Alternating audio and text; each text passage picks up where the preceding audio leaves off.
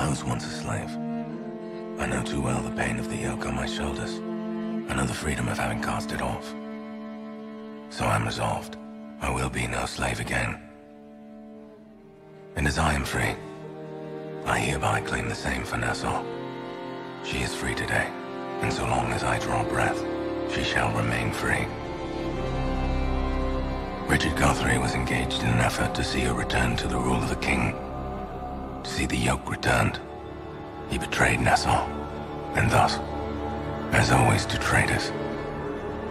As far as you and I, I was warned about you. Warned you would betray me. I'd hoped you and I shared enough to make such a thing unthinkable. I'd hoped those warnings were wrong. But I know you too well, so I prepared, in case they were right.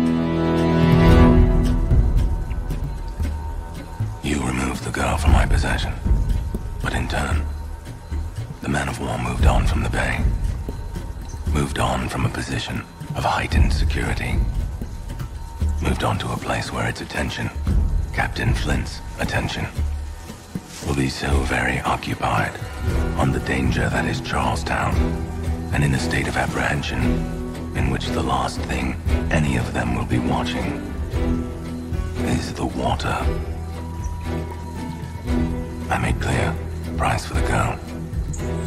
Should have known me well enough to know. One way or another, I was going to claim it. And once I do, I'll be returning to Nassau to settle the rest of my accounts.